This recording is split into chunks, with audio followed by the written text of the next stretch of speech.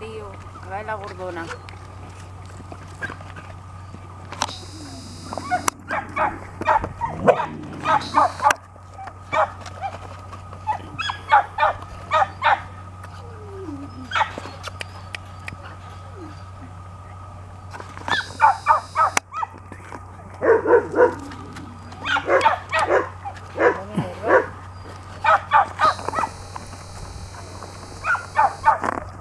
A ver que me estoy agobiando a, a